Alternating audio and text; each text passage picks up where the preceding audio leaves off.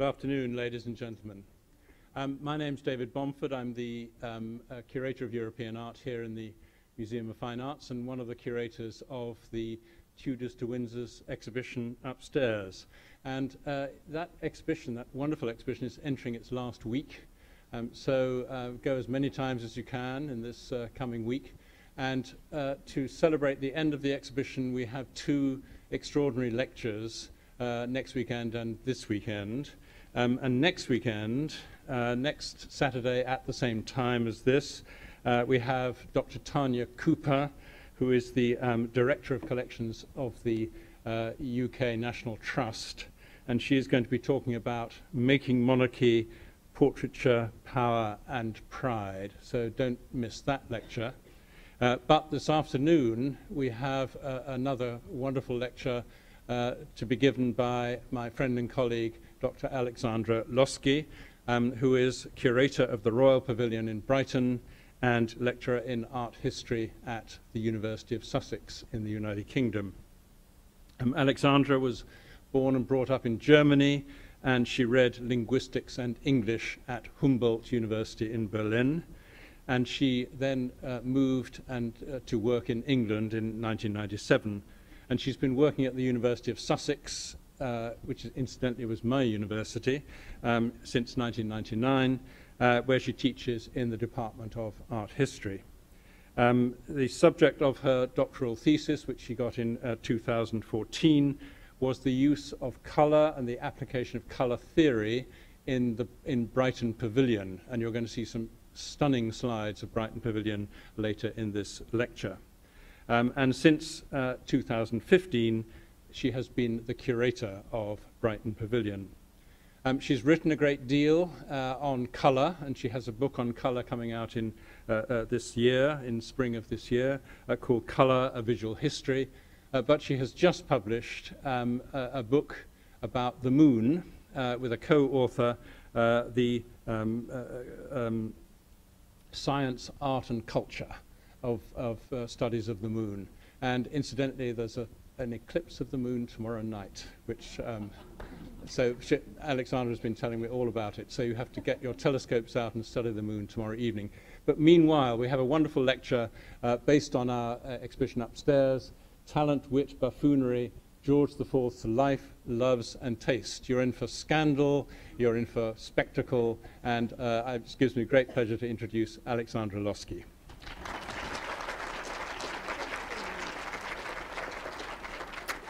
Thank you, David. It sounds as if I have three lives. I don't know. so it's uh, uh, so thank you so much for inviting me to give this lecture, and I'm hoping to bring to life my office, which you see here, see here on the slide, and of course as a large uh, print in the wonderful exhibition upstairs. Um, it's a bit unnerving giving this lecture in the United States, but uh, I shall try my best. And uh, I will tell you, what, what, what I mean by loves really is uh, not just the many women that George had. So you get a few of those, but really, I also want to tell you a little bit about what he loved, um, our George. And uh, here we have, and you have, you have this portrait of him in your exhibition, which is rather wonderful because it's so restrained and it's not something we usually associate with George IV.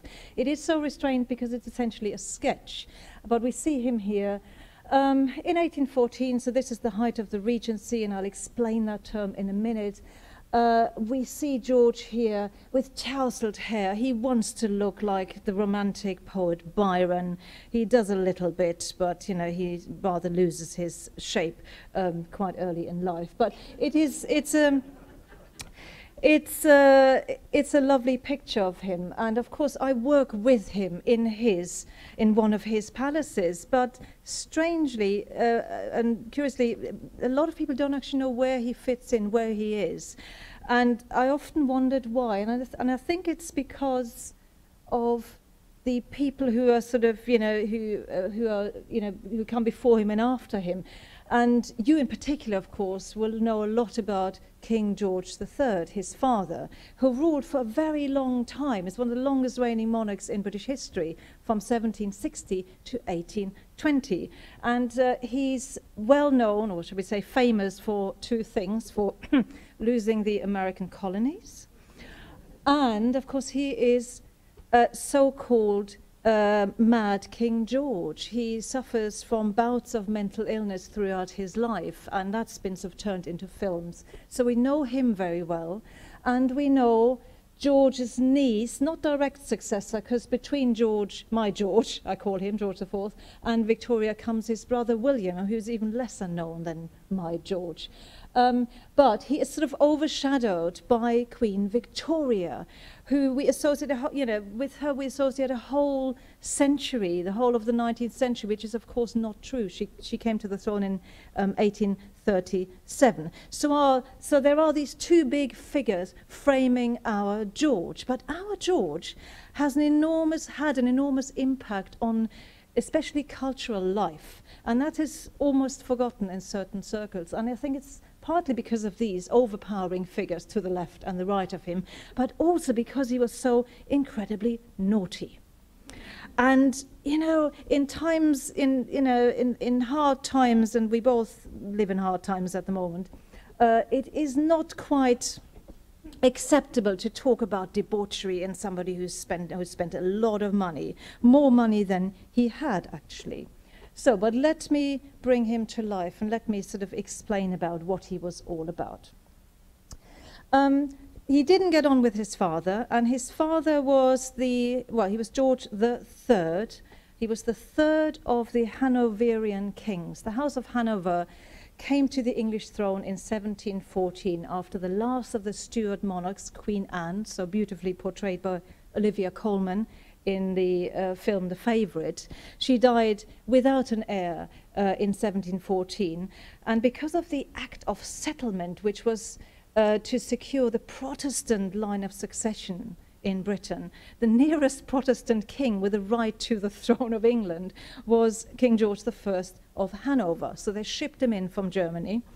Uh, his son was George the the second, and you think that's going to be easy, George 1, 2, 3, and 4. Then it should have been Frederick, but Frederick died before he became uh, king.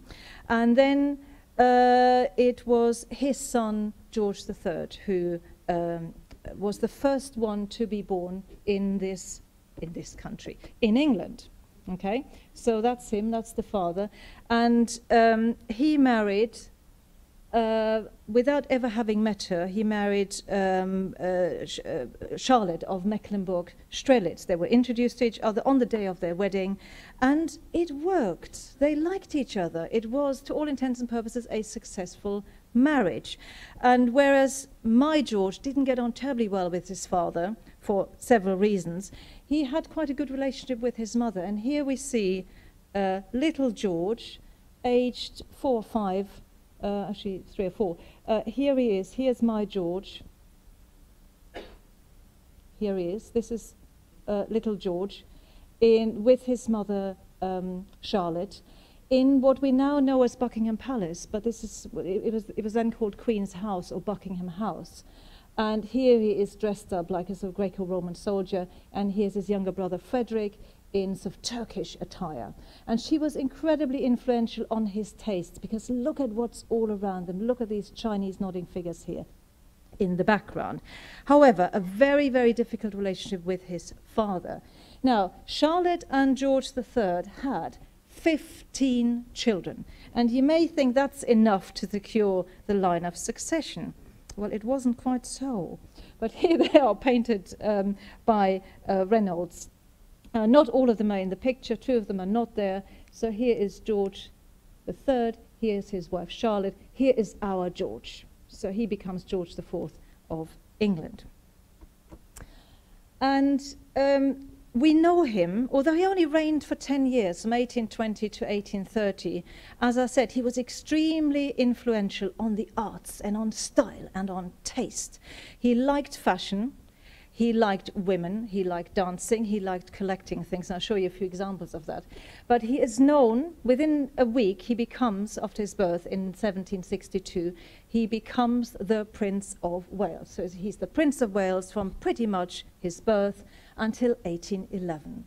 In 1811, his father, George III, has another bout of illness. He's declared mad. It is probably uh, the blood illness porphyria that causes these, these bouts of so-called madness. And he is unable to rule the country. It's quite literally locked away. He gets locked away at Windsor Castle. And his son, George, is put in charge. And so the regency is declared. And um, this is a crucial time. So George now has all the power, my George. It is also the height of the Napoleonic War, so it's not an easy time. But being in charge with his father he doesn't get on with, sort of locked away, it makes him, you know, one of the most powerful men in Europe. And then in that regency proper, in those nine years between 1811 until King George III dies in 1820, Napoleon is defeated. So then George really has, you know, he, you know, he is the most powerful man in Europe. Um, so that's sort of in, in, a picture here in the middle, that's from the Regency, and you see him there in full marshal's uniform. On the left here, you see his interest in fashion. This is fashionable young George, and he's quite good looking as a young man. And he's very fit, and he rides from London to Brighton in a day and back. In 1820, King George III dies, and uh, George is finally king. He's also very large by that stage. So on the right here you have the coronation portrait, of which we have a copy in the Royal Pavilion.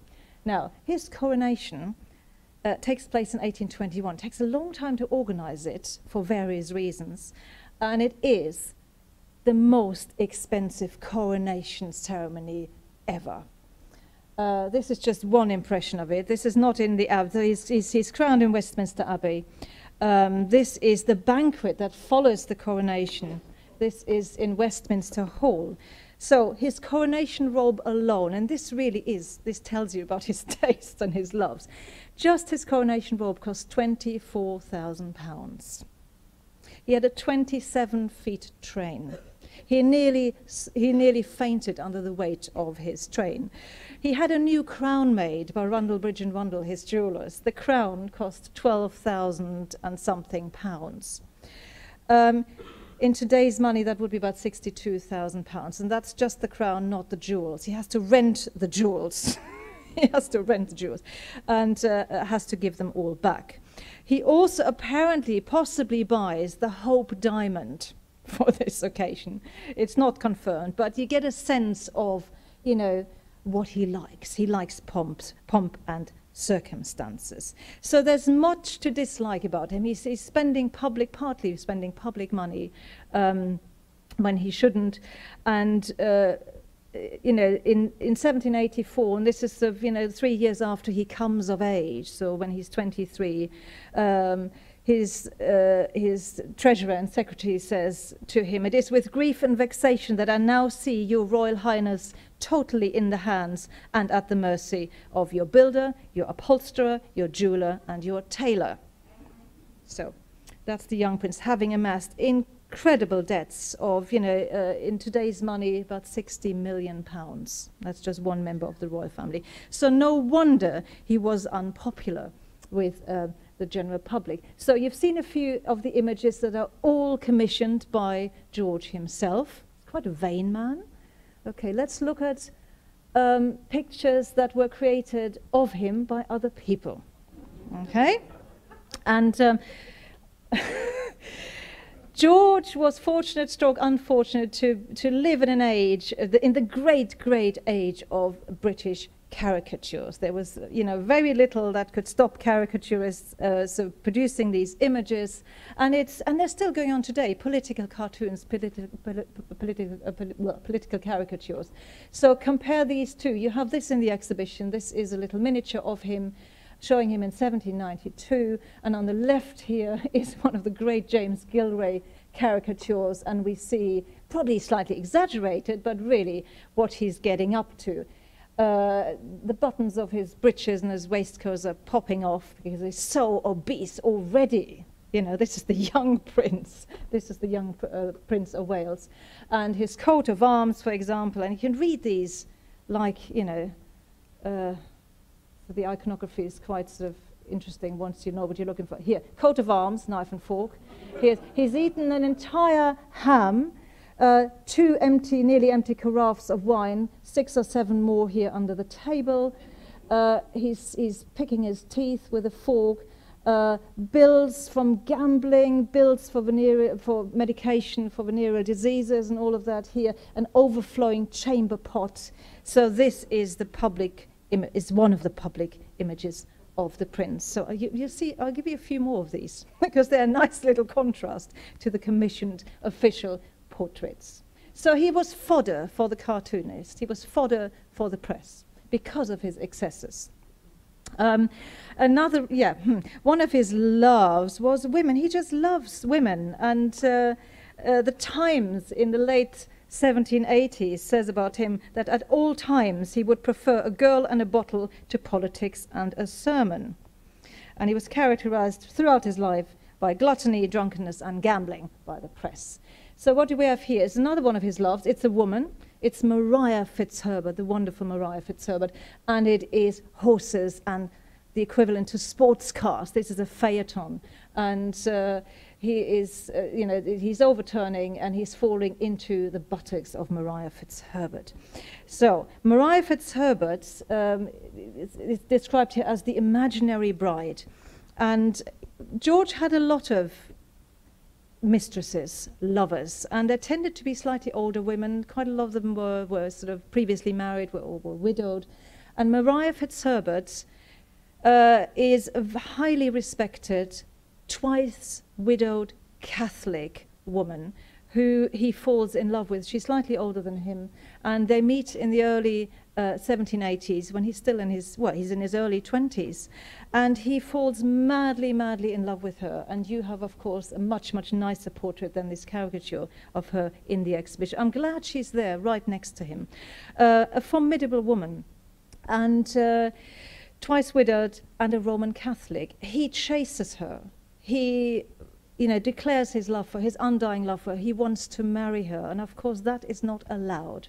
It is not allowed. However, he makes such a fuss, despite Maria's of, you know, disappearing, fleeing to the continent. Uh, he pretends at one point to kill himself, to stab himself, to put pressure on her. And she comes back, and they do actually get married. They do actually get married um, in 1785. Now, in the eyes of the Catholic Church, that is a marriage. In the eyes of the Anglican Church, it was never a legal marriage because, uh, remember the Act of Settlement? The king or future king of England is not allowed to marry a Roman Catholic. And also, George had not asked his father permission to, uh, to marry. So, however, they are married, and you know, she remains the love of his life, and um, they have to split up at some point. They keep coming back together. Uh, he is married with uh, a picture of her in a locket. So he's, you know, in the in the crypt at Windsor, um, in St George's Chapel, with a picture of Maria Fitzherbert on his chest. The the other one of those lockets recently came up for sale at Christie's. So on the right here, you see the one that belonged to Maria Fitzherbert. And it sold for something ridiculous, £350,000, I think. We couldn't buy it, and you know it was too difficult to do that. But it's a it's a great story, and she's she was you know a much loved, formidable woman, and considered herself married to George, of course. So there's much to dislike about George, but there's also much to like. And what makes him stand out for me is that he was one of the two greatest collectors and patrons of the art in British royal history. The only one that compares to him is, of course, Charles I. Here he is, and that's here. No, no, no, that's not here, right? That's not here. You have another one of uh, Charles I with Henrietta uh, Maria. I think they're separate. And those two are the first of serious collectors, and they bring to this, they bring to England pictures that are sensual, that are colorful. So they bring, of course, Van Dyck to the English court. Uh, just to give you a few examples, this is what Charles I does. You know, incredibly sensual, sometimes erotic pictures that really, uh, you know, had not been seen in, in the royal collection before. Here's the wonderful Cupid and Psyche. Uh, this is the kind of thing Charles goes and buys as a young man when he goes to the continent. You know, sexy pictures, you know, wonderful. And he buys this from the, from the Mantua collection. And uh, if you make it to England, or maybe some of you have been, this is in Hampton Court, and you have a picture of Hampton Court in the exhibition here. Don't miss, don't miss Mantegna's The Triumph of Caesar. Uh, it is, you know, you know, strangely, luckily, this never left the collection because, of course, Cromwell dispersed almost the entire collection of Charles I after he was beheaded. But these, uh, even Cromwell uh, was hanging on to. You know, so this is what Charles I does. But we lose Charles's collection because, you know, he is, um, he is executed and Cromwell takes over. But George is really the one that compares to him. And just to give you a few examples of what he collects and what he commissions, um, he uh, gives us the greatest complete of, collection of uh, paintings by George Stubbs, partly because of his love of horses, and here's just one. He loves, he loves everything, really. He loves anything that's colourful and garish and, you know, opulent. Uh, he loves porcelain, uh, particularly Sèvres porcelain, very colourful, of course. And he loves gold.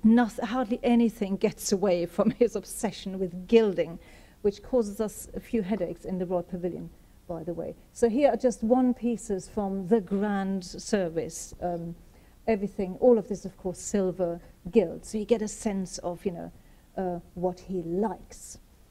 But he's also very good on paintings. Of course, with help, he has people who advise him and who point out certain things. So just two examples of two of the great, greatest paintings in the Royal Collection.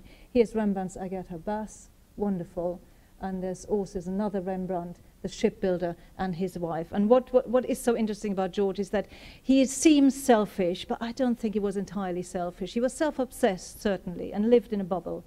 But uh, he thinks on a bigger scale, and, and he was aware of the great loss of Charles I's collection, and says at one point that he was trying to form, you know, this new collection not just for his own pleasures, but for um, also for the public taste. And he has done that. He has done that. Um, and what we sometimes forget, or what not everybody knows, is that he was also a great builder king. Uh, so you think of Buckingham Palace, but very few people know that Buckingham Palace, which existed before him, um, as Queen's House or Buckingham House, was ex greatly extended by him. He commissioned John Nash, and this is the, the garden front, which you rarely see. And then uh, the other front you don't see at all anymore because it was, you know, uh, built up by, um, by Queen Victoria. That is George IV. That is George. Uh, so that's Buckingham Palace. He has his own palace, uh, not far from Buckingham Palace, and that's Carlton House, where he re really plays with interior design. It's where he tries out many, many things that we will later see in the Royal Pavilion and in other palaces. I, I can tell, someone spotted it there is that Rembrandt I showed you just a minute ago. There it is. Yeah, it's a great lost palace. He had it pulled down himself in the 1820s. So he's a man of great taste. He spends a lot of money. He doesn't care how much he spends. He keeps asking for more money. And that gets him into trouble. So by uh, his late 20s, he had amassed, you know, you know, debts of 60 million pounds. Something needed to be done. By the 1790s, he had been quite happily living with Maria Fitzherbert, he was urged by Parliament and his parents to marry and procreate. So marry an, an acceptable, suitable, virginal Protestant princess, because Maria Fitzherbert was not acceptable. And they find one for him. She gets shipped in uh, from, uh, uh, from Braunschweig, Brunswick, his first cousin, Caroline of Brunswick. And as with his parents, really, they had never met before. Uh, she was sent a miniature so in that style. Um, he supposedly was also given a picture of, of his future bride. They meet, they get introduced to each other in 1795, and it is hate at first sight. Um, She says about him that he is much fatter than the picture uh, would let her believe. And he says of her that she smells badly, she has no sense of personal hygiene, um, and asks for a glass of brandy. You know, pray fetch me a glass of brandy. He is drunk at the wedding, which takes place the following day. He is also drunk in the wedding night, during the wedding night. However, um, somehow they manage to conceive a child. And this child is born nine months after the wedding, and that child is uh, only a girl, but it'll do for now. It'll do for now. It is Charlotte. And Charlotte, here's another one of those cartoons. This is, you know, shortly after Princess Charlotte's birth. Here we have the feuding parents. Here is the little princess. Um, he's kicking over, he's in a rage and he's kicking over um, the table. Uh, shortly after Charlotte is born, he makes a will. He writes a will in which he, sort of, you know, leaves something for his baby daughter, but he leaves everything else to Maria Fitzherbert. Yeah? In the background here, we have Lord Jersey, and Lord Jersey is, is uh, you know, calling uh, George, saying, please come and help yourself to my wife, Lady Jersey, who's sort of spread-eagled on a sofa here. Yeah. So all is not well uh, in that marriage and soon after, soon after Charlotte is born, uh, they separate. Uh, poor Charlotte grows up with, you know, as, as this sort of pawn between her feuding parents. They never get divorced, which is quite interesting, because it gives Caroline uh, quite a lot of leverage because if you're not divorced, it is possible you could have another baby, you can have another child. That child, if it's a boy, would of course overtake the Princess Charlotte in the line of succession. But everybody knew those two weren't together anymore. So Caroline, who was for a time living in Blackheath, a completely different part of London, and later in Italy, was quite openly having affairs and lovers and uh, cartoonists obviously have a field day with that. She would sometimes put uh, a pillow under her skirt and appear in public. Uh, you know, had she had another child, that child would have technically been in line um, to the throne.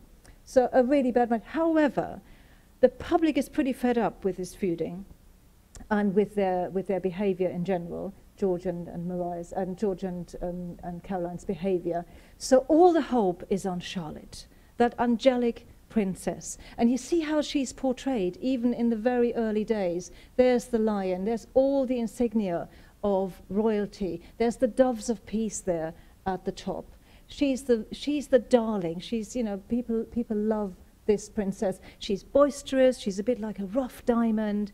She has a lot of her mother and her father, and when you read her letters, you can tell she was sharp.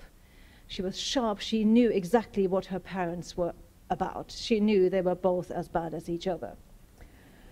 Uh, here, just out of interest, is uh, a portrait of uh, Princess Charlotte, and she clearly has George's features. She has her father's features here. But look at the imagery. So this is done by Maria Cosway, and it's actually a portrait of Caroline of Brunswick with her daughter, making that, that visual statement of being, you know, connected to the throne of England. So here's Britannia, here's the lion, uh, here is the next, well, the second in line to the throne, you know, uh, with her mother, and they're all linked. Look how they're visually all linked. It's Caroline making a bit of a point here, really.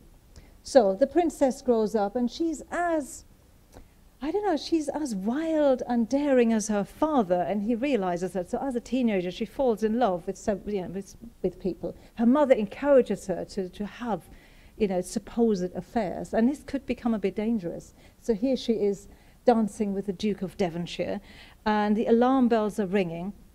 Um, uh, in her father's head, and he decides to try and marry her off quite, quite quickly because she's such a flirt she's such a fun-loving person. So they're trying uh, uh, marry her off uh, to um, a Dutch prince, and um, Charlotte, being quite so feisty, initially agrees to this engagement. So they are engaged, and then she realizes that you know uh, he is actually quite a nasty person and possibly an alcoholic. And she writes to Parliament and she goes public and says, I will not marry this ugly, spider legged, nasty Dutchman. So, and she calls off the engagement. It's quite a thing to do. So people are worried about uh, what's going to happen. But all is well in the end because she falls in love with Leopold of um, uh, Saxe-Coburg, um, a dashing, a dashing German prince without much money, but he has other credentials. Yeah, and he. Mm-hmm, so it's a rather unflattering picture of of um, of Charlotte. Yeah. So this is this is Charlotte. This is her. This is this is her grandmother.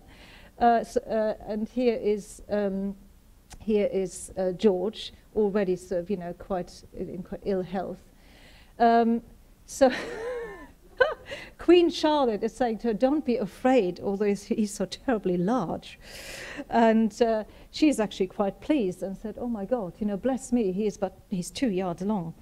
So it takes a little bit of convincing, but at the Royal Pavilion in Brighton, uh, the, the engagement is announced, is, is declared of those two, Leopold of uh, uh, Saxe-Coburg and Princess Charlotte, and it is a love match. They get married at, um, at Carlton House in London, in a, as was usual, quite a sort of intimate ceremony.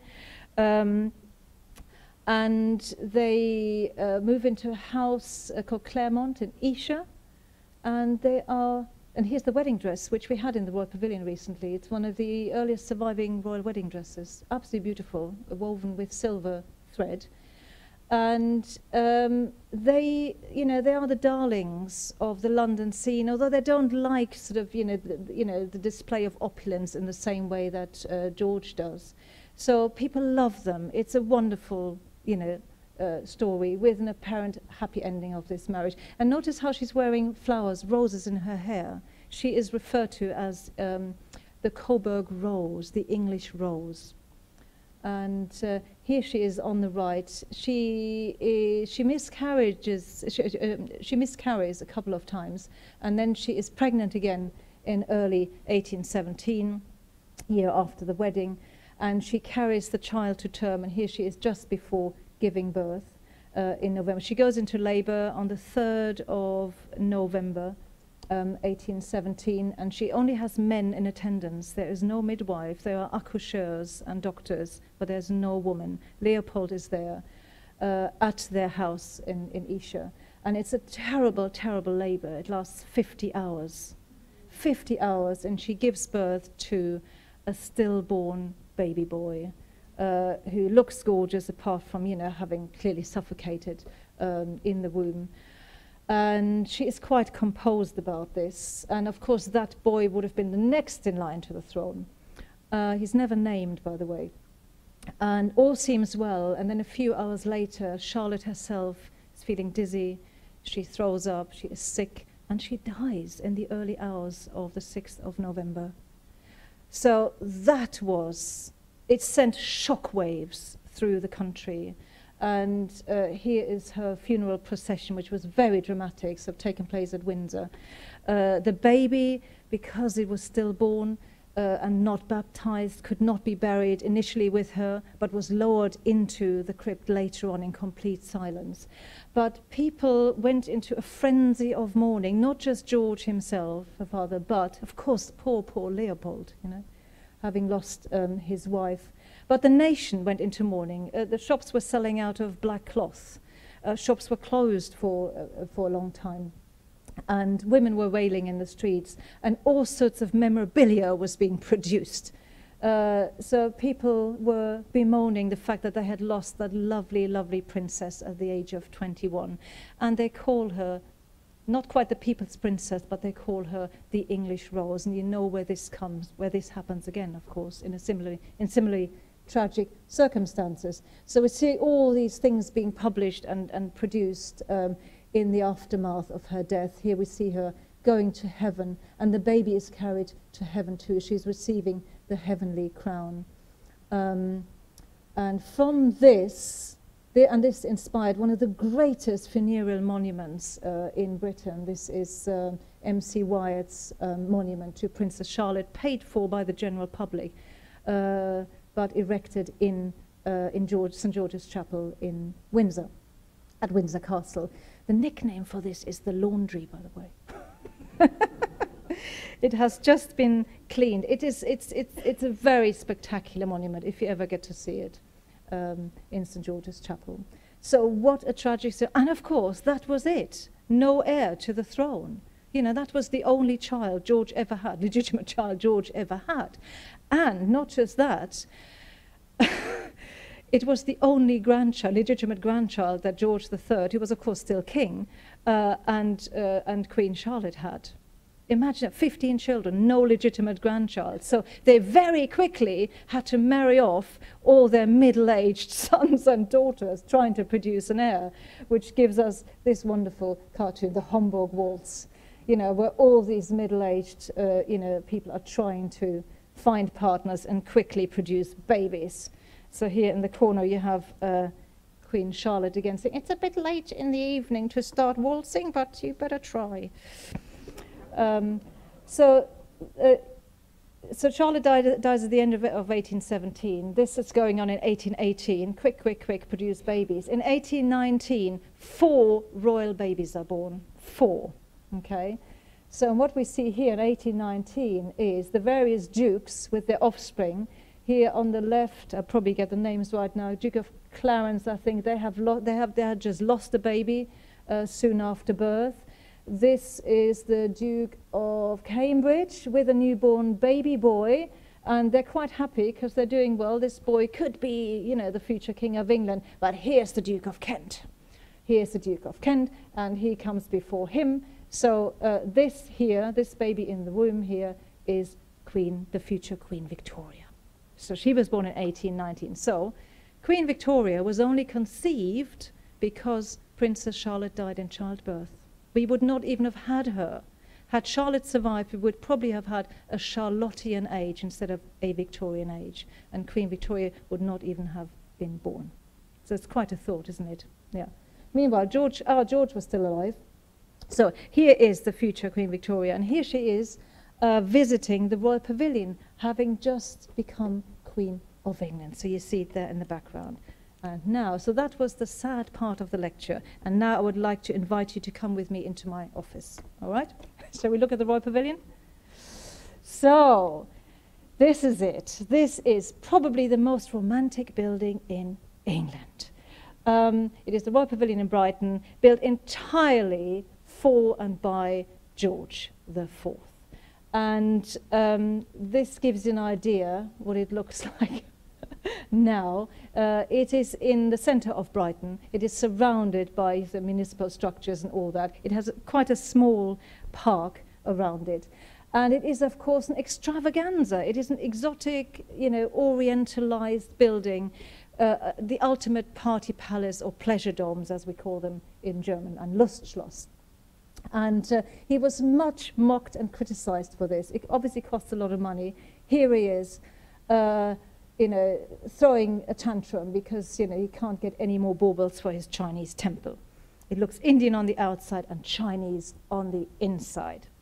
But uh, what brought him to Brighton in the first place? Brighton is on the south coast of England, so an hour's train journey from London, but trains weren't around yet. It, took, it would take about four hours by horse-drawn coach. Why Brighton? Well, Brighton was a seaside resort. It was a place where you could go with an excuse that it was good for your health. And it was quite handy that there, were, there was also a lot of gambling uh, to do. There was a race course, and you could watch the ladies being dipped into the water. So naturally, the young George, Prince of Wales, goes down to Brighton after he turned 21 and enjoys you know, everything that Brighton has to offer. And then quite quickly decides to spend more time there and built himself a little pavilion by the sea. He never calls it a palace. So this is it. It's by Henry Holland. It's a neoclassical, elegant, quite a small building, sort of symmetrical. And look at the colors. It's painted blue and buff and blue and buff were also the colours of the opposition, the political opposition, which he sided with because it was, you know, the opposite to what his father was supporting. So uh, the Whigs, basically. And I understand there's also a connection with, uh, with American history as well, blue and buff, revolutionaries and all that. I didn't know that until yesterday. But here we have the first Marine Pavilion in the 1780s, looking quite tame. Okay, so what happens? Well, what happens is George goes, goes oriental, he goes exotic. And first, in the early years of the 1800s, he builds himself this. This is the most tremendous, it's a fantastic structure. It is a domed building, and at the time, the largest domed structure in the country, apart from St. Paul's Cathedral. And what's it for? For his horses. These are stables. And here's the inside view of the stables. Okay? And this really, it overpowers not just the whole of Brighton, but also the, royal, the, the pavilion. So he then thinks, well, I've got to catch up with my horses. And he has great ideas. And he goes oriental on the inside first in the Royal Pavilion. And then he hires, and this happens in the Regency, when he has power, access to more money, nobody turns him down. He hires the star architect of the time, John Nash, and he says, John, please orientalize my little pavilion by the sea in Brighton. And he does it. He obliges, and this is how he does it. He adds these two amazing rooms, wings, to the, uh, to the north and the south. But what's going on in the middle? That's still the original building. How do you get from this to this? Okay? You don't pull it down. You use a modern building material called cast iron. You know, we see that later a lot in, sort of in, in railway uh, um, infrastructure, but this, is, this was quite daring. So all these minarets that you see and the big bulbous domes, they're all based on wood and cast iron structures, and you see it here in this cross section. Everything that's blue is cast iron. That's how you make a building on the English coast look oriental. Yeah. Uh, the other side looks like this. And when I say romantic, um, you know, it's the Royal Pavilion, it's romantic and it's picturesque. It is the ultimate romantic and picturesque building. It means it's meant to entice you, it's meant to surprise you. It's not like one of those Baroque palaces where you just walk to the front door and you know where it is. You have to find your way to it. So, would you like to come in with me? Okay, so first of all, we have to wind our way in a picturesque manner to the front door, okay, which is um, the, there's a little porte cochere all this is John Nash, of course. And then we go in and we see this. And this is you know, an 1820s aquatint, and this is how it looks today. And you think, okay, this is still what you would expect, you know, so the pale, sort of, you know, very, very pale pinks, and then there's sort of a, a muted green. But we have lanterns and bells instead of, instead of chandeliers. So it's beginning to look exotic already. And then you go in here. And this is sort of the waiting area. This is, and remember, this was a pleasure palace. This is where George would entertain, where rules were relaxed. It wasn't quite informal, but it was certainly less formal than the London court. Great place to get away from, uh, to get away to, from away from his strict father. So this is where guests were waiting for him, for the king or the prince regent to come down and greet him. And it's quite a disorienting space because you don't quite know what is where. Are we outside? Are we inside? And of course, all these exotic things along the walls and on the walls. And can you see that figure? Like the figure in his mother's room in uh, Queen's house when he was a little boy, a nodding Chinese figure. And if you think this is spectacular, um, you would then be taken into one of the two, or one of the three state rooms. The one at that end, which you can just see there, at the end is this. Okay, this is the banqueting room. This is one of the John Nash extensions. And it is just, you know, a fantasy vision version of China or what European designers thought of China. None of the, the architect, none of the architects, none of the interior decorators, and, and certainly not George, had ever been to the Middle or the Far East. All of this was, you know, a European creation. And in this room, the most amazing object is that chandelier in the center. And you can see George sitting there on the right, in the middle. This is called promiscuous seating. It is seating not according to rank, but boy, girl, boy, girl. So he could choose any woman he liked to sit next to him. Yeah, promiscuous seating. So lavish banquets would be held there. This is that fantastic, stupendous chandelier which is nine meters long. It's a Paris chandelier uh, designed by Robert Jones and is held in the claws of this dragon, which is supposedly Chinese, but actually, if you look carefully, it looks nothing like a Chinese dragon. This is a Welsh dragon. it's a Welsh dragon. It's an absolutely stunning, stunning object. Um, and recently, I had the pleasure of explaining what this chandelier and the whole room is all about to these guests. Oh, I was waiting for to show you. Um, so. Hmm. So this was in October, and they, so the Duke and Duchess of Sussex, having been made Duke and Duchess of Sussex, came and visited at fairly short notice, and uh, that's me there, having to explain chinoiserie and Orientalism in four minutes. Yeah, so uh, it was wonderful. It was absolutely wonderful, and I, am hoping they're going to sort of come back on a regular basis. So, but it was a challenge, you know. Um, this is the corresponding room at the other end, and this is the music room, and this is another one of George's loves. And we don't have time for that today, but apart from wine, women dancing, architecture, furniture, uh, dressing up, and so on, he loved music. He was known to be playing the piano a little bit, uh, to sing, and he would hold lavish, wonderful balls in uh, the new uh, Chinese-looking uh, music room of the Royal Pavilion. And he also introduced or encouraged people to dance a rather sexy, promiscuous dance, new fro over from Germany, the waltz, of course. Yeah, where you dance quite closely with one person. So, and here he is on the left there with his favorite ladies again. It's the most astonishing room. You walk into it and you think you have walked into a lacquer cabinet, which was, of course, you know, some of the export ware that was coming from China with the East India companies. But here, what looks like lacquer is actually painted canvases on the walls. Quite astonishing. And look at those upturned, you know, lilies, uh, umbrella-shaped chandeliers, rather wonderful. Uh, here they are today. And there on the right, you see how it's made to look like lacquer, but it's actually painted with very, very expensive pigments uh, and so several sort of layers of pigments and glazes as well. Very strong colors uh, creating an illusion of the Orient, a party palace.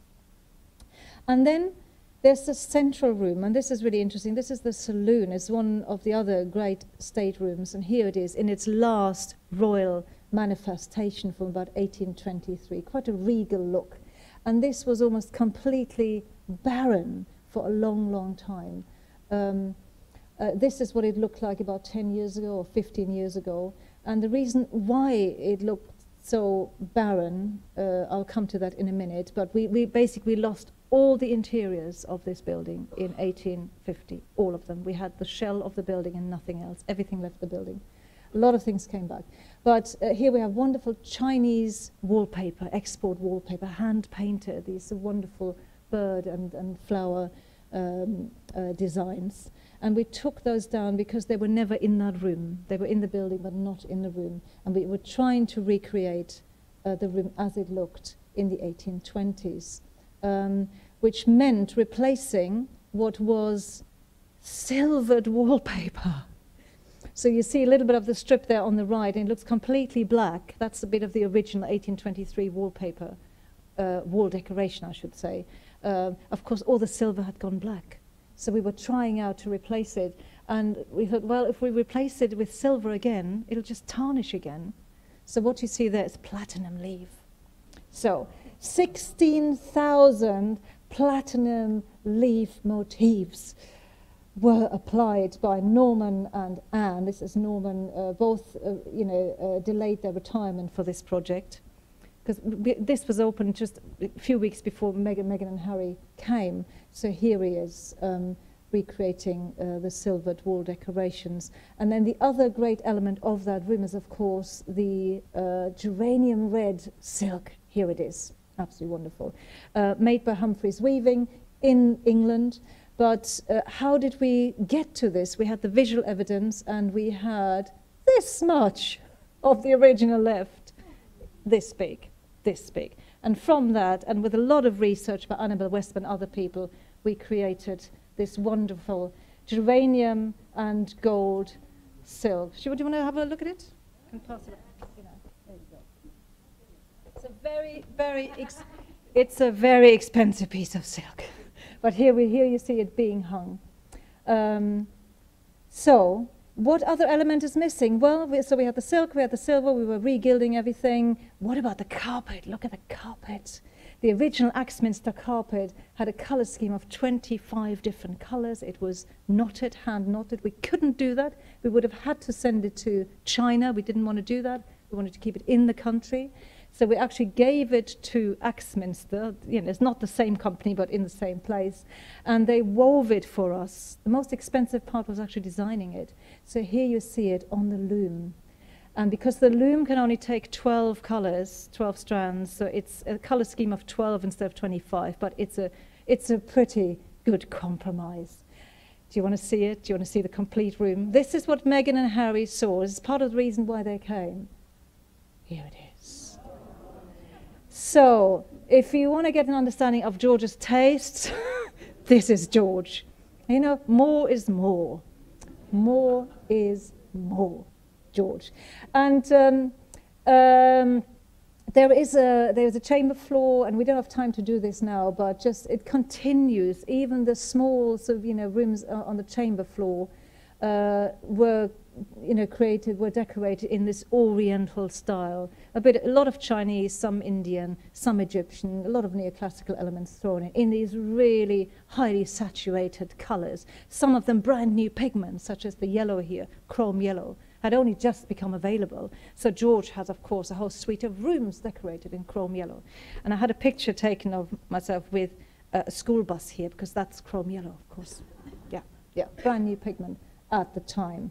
So, and even in the kitchen, even in the kitchen, you have exotic elements. So the supporting columns are decorated with, as, you know, they look like palms, okay?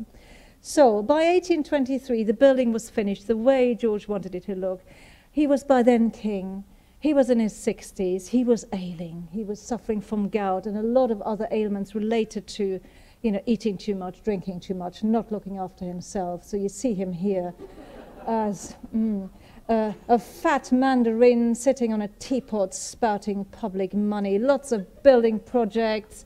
You know, he's got his Chinese servants. Uh, that sort of snake-like figure there, um, uh, you know, is looking a bit like one of the ornaments in the pavilion. Uh, the smoke out of his pipe forms the letter C. That's Lady Conyngham, his, his mistress in the 1820s. Behind him, the craziest of his building projects, the World Pavilion. And he's stroking a, stroking a giraffe. So strangely, after 1827, having enjoyed his John Nash version of the pavilion for three or four years, he stops coming. He retreats to Windsor, to Windsor Great Park, to a relatively small cottage ornée, the Royal Lodge. And what does he do there? Well, he plays with his giraffe. And I'm not, hmm, I'm not saying this was the only reason, but I'm saying it's one of the reasons why he never returned to Brighton. He was really overweight. He couldn't move much anymore. Uh, and he was given the first living giraffe in England by the Pasha of Egypt, and he kept her at Windsor Great Park, so he could sort of go there in his pony chaise and stroke her every day. So this didn't happen here. He wasn't riding the poor giraffe. Uh, but you know, here he is with Lady Conyngham in his, and his latest toy when he should have been looking after the country. Uh, but again, as a great patron of the arts, he commissioned this fabulous, fabulous painting by Jean-Jacques Laurent Agasse of the giraffe in, um, in England. Giraffe, the giraffe doesn't live for very long, has problems with her legs, as does George, so they're quite often sort of compared, and they're both strange creatures, aren't they? Nobody really understands them. Uh, so the giraffe dies uh, late in 1829, and George dies um, just six months later at Windsor. And the other thing he was doing at Windsor, not just playing with his giraffe, he was overseeing the transformation of Windsor Castle. And we don't really think about that when we look at Windsor Castle. We think of the great medieval castle. But actually, lots of what, a lot of what you see at Windsor is George's work. You know, he added sort of, you know, an extra story to the White Tower. He crenellated large parts of it. So he hired Geoffrey Wyatville to do that and was overseeing that from his sort of lodge in Windsor Great Park. And this is where he dies in 1830. And when he died, the Duke of Wellington said this about him. He was indeed the most extraordinary compound of talent, wit, buffoonery, obstinacy, and good feeling. In short, a medley of the most opposite quali qualities that I ever saw in any character in my life, but with a great preponderance of the good. And, you know, he wasn't without sort of self-awareness. He said about himself, I am a different animal, a different being from any other in the whole creation, that my feelings, my disposition, my nature In short, all and everything that is me is in all respects different and makes me frequently quite a different animal, um, uh, a different being to any other that either is now, that has, or in all probability that ever will exist in the whole universe. And that's, this may sound a bit sort of, you know, um, he's a bit full of himself, but actually I think he was well aware of the bubble he lived in and how he could never really get out of it. But we do owe him a lot. Um, and just as a postscript, if you have five minutes, uh, you wonder what happened to his pavilion by the sea. Who would possibly want that building? Well, William quite liked it, his brother, but when he dies, Queen Victoria inherits it, and she doesn't like it. she really doesn't like it. It's not right for her. And Victoria builds this, and this is now what you see from the Mall uh, of Buckingham Palace. The facade now looks a bit different, but this is built in 1846. Victoria, you know, sort of closes off the wonderful Nash design of Buckingham Palace. She needs more space. And she also needs to somehow so furnish that space. So she sells the Royal Pavilion, the entire estate, and she takes everything inside with her. And she recreates the Royal Pavilion with Albert, of course. Albert was very into colourful interiors. And just to show you a few examples, you might think you're in the Royal Pavilion, you're actually in Buckingham Palace. Okay? So there are, there's one of the chandeliers, there's the fireplace from the music room, there's the overdoors from the banqueting room, the paintings from the banqueting room, the chairs, the uh, Orleans vases here on the left from the music room. And there's the toys, you know, this is Victoria's children playing in that room.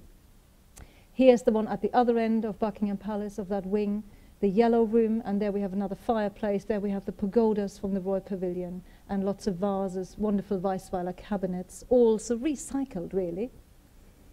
This is the central room, the famous balcony room. I don't have a better picture of this. So you see again the chandelier. So spot the Royal Pavilion. Okay, there it is.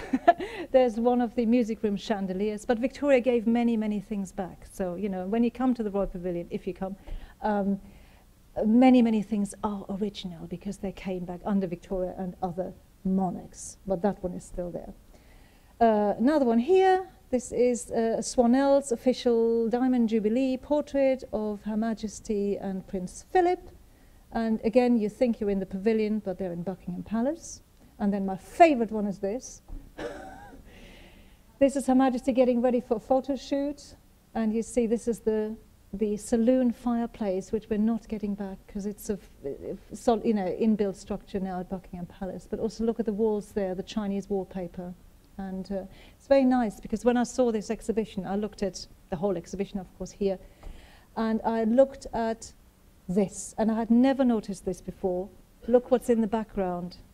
This is the Chinese wallpaper from the Royal Pavilion, yeah, which was a lot of it was taken down, some of it came back. We have enough but it's still in Buckingham Palace, and this is where Diana was painted for this portrait. So, I hope you will all visit me at the Royal Pavilion, and I have something else to tell you, and this is brand new information. It's extremely, extremely exciting. So, Victoria took everything. We got a lot of things back, but not everything. And uh, uh, that wing that Victoria built was quite shoddily built and needs to be rewired. It's now 170 years old and it has just been completely decanted. And that's what the royal family is calling it, the decanting of the east wing of Buckingham Palace. And as we know, it is full of things from the royal pavilion.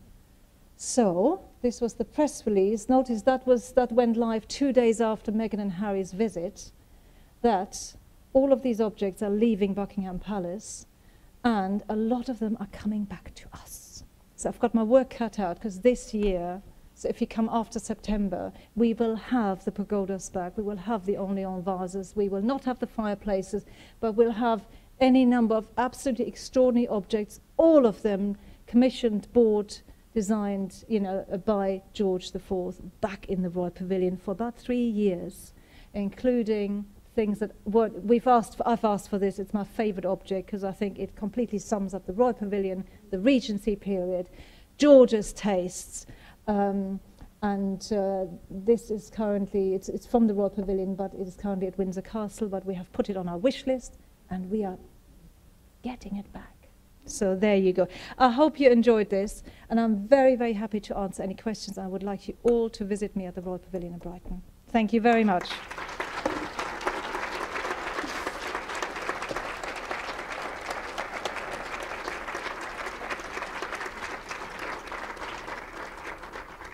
Was that timing-wise? Was it, was it okay? Um, are there any questions right now? Otherwise, come and ask Alexandra um, uh, as you leave. But um, thank you very much for a most wonderful lecture. Thank you.